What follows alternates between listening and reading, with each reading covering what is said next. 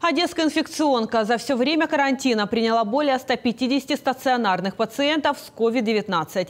Сейчас в медучреждениях от вируса лечится 36 человек. Пятеро находятся в тяжелом состоянии, но не требуют искусственной вентиляции легких. Еще у 78 подозревается коронавирусная инфекция. За сутки в городе диагностировали три новых случая заражения. Болезнь не обошла стороной. Медперсонал инфекционной больницы, часть медиков находится на стационарном лечении. По словам главного врача, все сотрудники работают в очень тяжелых условиях, но помощь социально ответственного бизнеса помогает врачам не падать духом.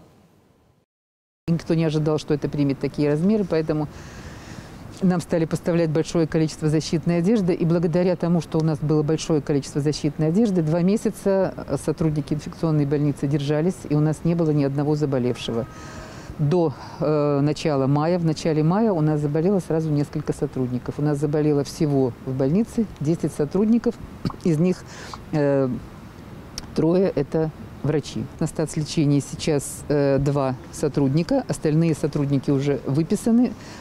Часть сотрудников выздоровели, э, два сотрудника еще заканчивают лечение на, э, в амбулаторных условиях. Но очень много помогли инфекционным, инфекционной больнице.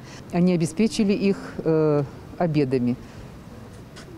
Мало того, что это очень вкусно, кроме того, в каждый пакет с обедом для сотрудника – на дне каждого пакета была трогательная записочка с пожеланием э, скорейшего завершения этой ситуации сложной.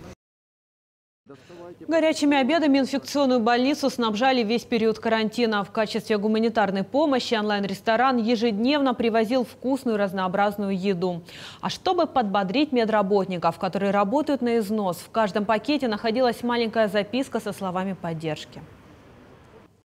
С середины марта по сегодняшний день а, было приготовлено и доставлено в больницы города Одессы и Черноморска более 7 тысяч комплексных обедов. В них входило первое, второе, салатик и, э, и напиток.